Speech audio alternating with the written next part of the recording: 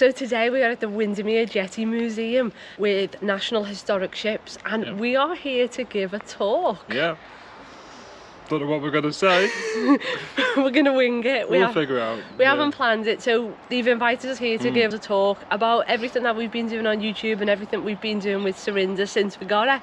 So we're quite nervous Mm. Yeah.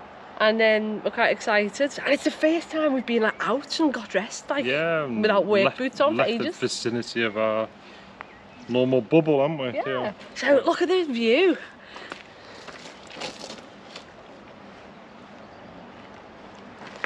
So Simon said to me, Gemma, don't get nervous. Just imagine everyone naked.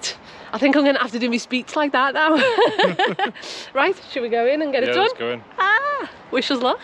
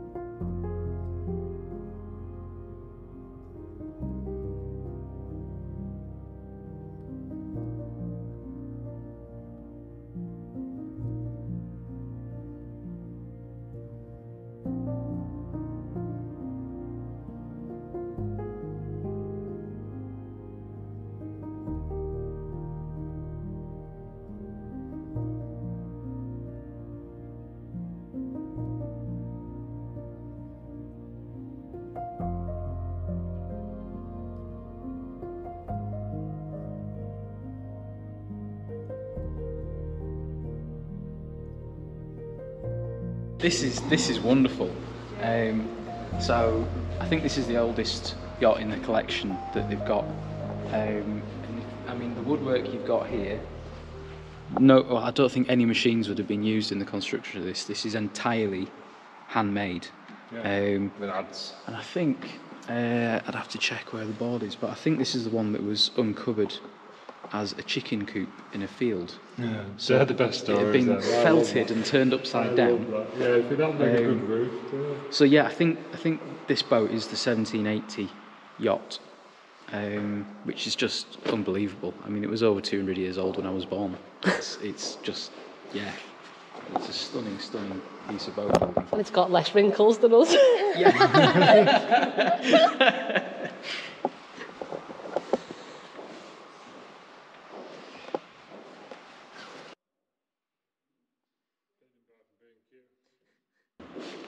Hang on, you've already got your costume on today, look.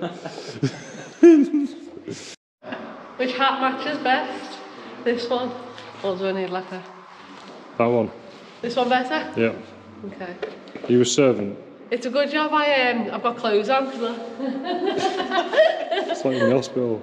Is that my new dress? Yeah. You have to wear that for um, painting your boat. Painting your boat dress. I think Simon needs to dress up now. No. You need to put your top hat on, at least. Oh yeah, I'll do a top hat. Is this a top hat? Yeah. And if the hat fits, it doesn't fit. So old aeroplane engines. Actually, I think this one came out of um, uh, an airship. I don't think it was in an aeroplane, but it's Okay. probably on the board. But um, yeah, so Major Pattinson.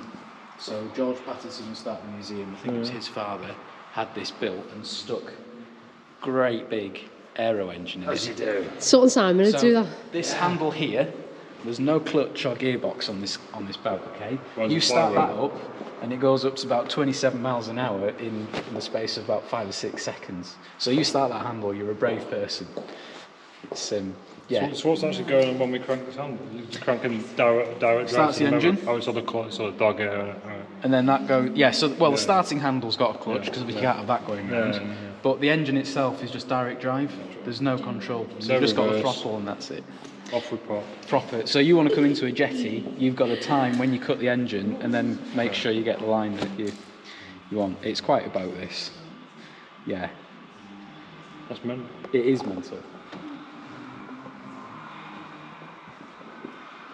So we are now off out on a little steamboat, aren't we? Steamboat! Yay! And the sun's come out, which is nice. You're used to steamboats, though, aren't you? Who? Oh yeah. I could run this. You know how to oil I know you? it's an oil steamboat, Steve told me. And Wesley.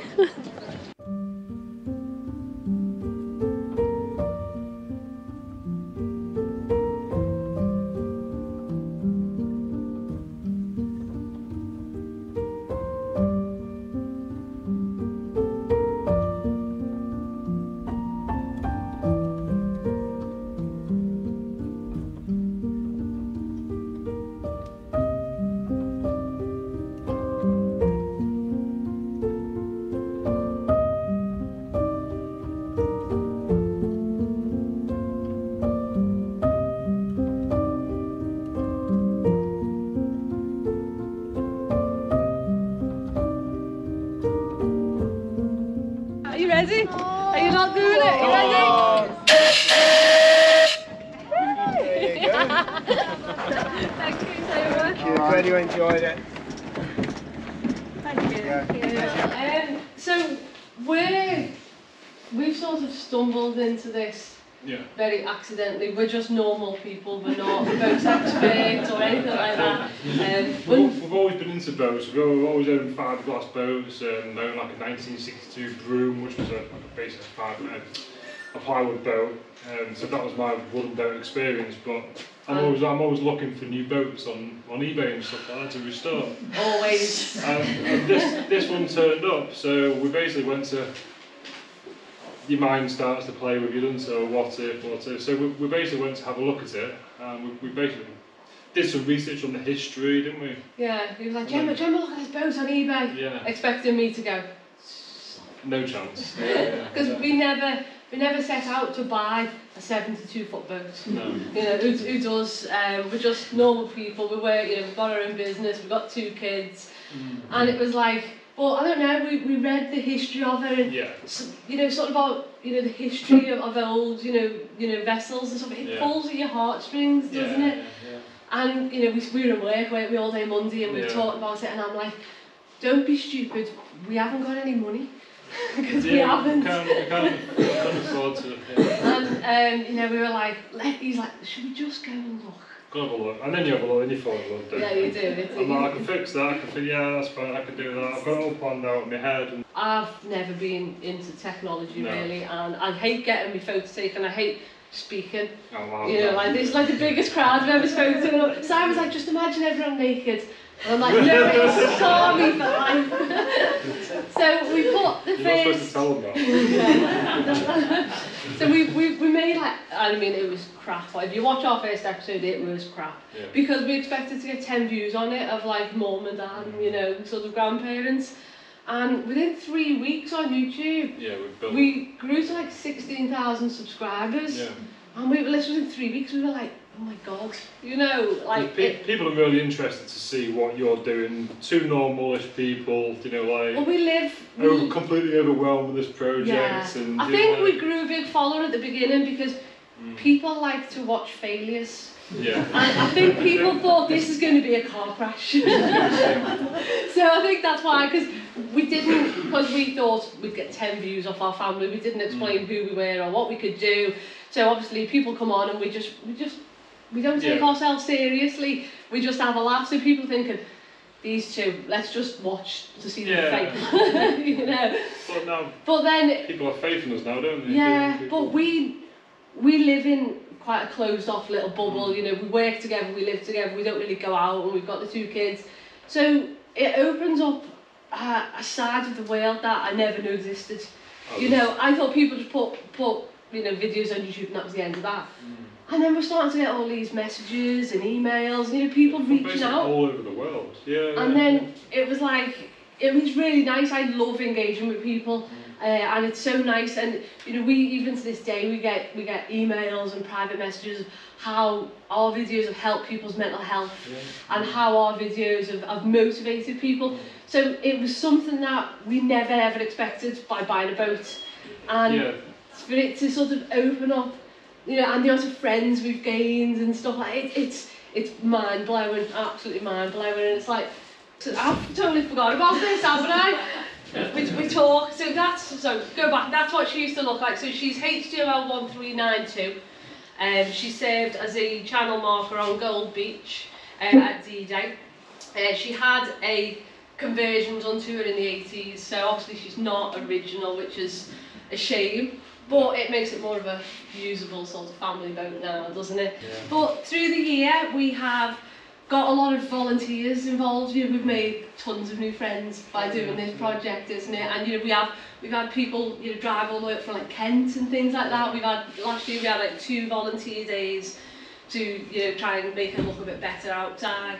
The hull is the only original sort of bit Part on it. boat, so yeah, we So, do it. We So- want to honour the past, you know, people like, you know, use screws, use this, and we went, no, we want to keep it as original as we can for what's left. So we are da- going down here, we are doing traditional copper nails and roves, which is hard on the arms. really, really good fun. If, you've, if you've never done it, you should try it. It's good. It's yeah, good. come down, we've got 20 million. Yeah, we've got have a go. Yeah, So even though a lot of this probably will be hidden when it's all done, yeah, yeah. we, we, you know, everyone's like, oh, just whack loads of sisters in. I was like, no, I want it to look how she was, you know, to honour her past. So that's what we've been working on. We've just completed our biggest job, which was the roof, because obviously, you know, every part of the boat needs Yeah, the um, cabin top, yeah. But it was buck- we had to put buckets down in the fresh water, and It it nearly blew off in the winter. yeah, I was more concerned about the roof blowing off from where we are, where we're located. If the roof comes off, we've got a big problems. Deal Yeah. with. So there we go. So that's what we've just finished. Eh, Well, still not finished. We've still got to put flybridge in and stuff like that. Yeah. But she is watertight-ish. So yeah, Yeah, that's um that that's us to date at the moment. It's Yeah. been a journey, but we um we everyone always asks what's your long-term plan with the boat. We haven't got one because we never planned on buying a boat. so I think You can always find a use for a boat, though, can't you? Yeah. can always- The only thing we, we really, our only goal is we Yeah. want to go and do the D-Day crossing uh, with Medusa, which is their sister ship down in Gosport. So that's that's our only future goal, isn't our it? future goal. though. In about And- seven years. Unfortunately, we're not making millions out of YouTube. have, you, have you set up a Patreon page? Yes, yes. Yeah. Which we, Which- I, I'd never even heard of Patreon this time last year, and I was like, and it, it took me a while to get my head around that because we had, mm. lo- you know, we've we've sort of been pulled along by our viewers, and they're like, open Patreon. I'm like, what's Patreon? You look into it. I'm like, people want to sign up to give us money every month. That I can't do that, and it was it was a real weird concept at first because we. We're, we're not the type of people who, who go to people for help. Do you know what I mean? Where everything we've done, we've sort of we work for and yeah So- people have this concept that oh, you're, you're on YouTube you must be earning millions and you know it's like we're still working full time in our day jobs running a business and then we're at the boat every weekend and then the amount of time that editing videos and, and dealing with people so it's like we're running ourselves ragged aren't Yeah, we it's good. but You only, we the, you only the once, yeah, don't you? we're really enjoying the process of it, so it's really good. yeah, cool. Okay, Stephen Beresford from the Windermere Jetty Museum gave a fantastic talk all about the museum and all about the work that they do on every aspect of vessel conservation and restoration at the Windermere Jetty Museum. And it's so fantastic to hear someone as passionate as imaging, creating 3D renders so you can record and you can visualize everything that you need to. Absolutely fantastic. Go and check out his YouTube channel. We also heard from Hull's Yorkshire Maritime Heritage Project, and at the moment they're working incredibly hard to protect Hull's incredible maritime history, architect, and collections. We also heard from friends of LV50 and how they're using the lightship to create learning resources for children, which is a fantastic project. Go and check them out. The National Museum of the Royal Navy also come and spoke about their project, RML 497, which at the moment they are restoring. The team from the Daniel Adamson spoke about the work that they're doing to improve people's mental health, which is absolutely incredible. their hard work and dedication is truly amazing. We heard from Paul from the Steam Tug Kerne about all of the work they've done to preserve the vessel over the past 50 years. It truly is a credit to them, and I hope one day soon we can come out for a visit. Thank you so much to National Historic Ships for organising this event and giving us all the opportunity to be able to meet like minded people. We can't wait to come again.